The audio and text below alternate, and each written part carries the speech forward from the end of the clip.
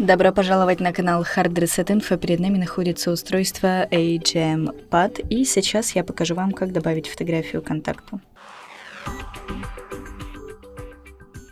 Открываем приложение телефон, здесь выбираем контакты и выбираем контакт, которому хотим добавить фотографию. Нажимаем на значок карандашика.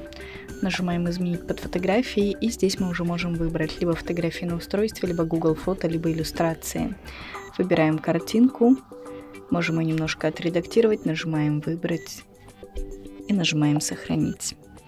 На этом все. Спасибо за просмотр. Ставьте лайки и подписывайтесь на наш канал.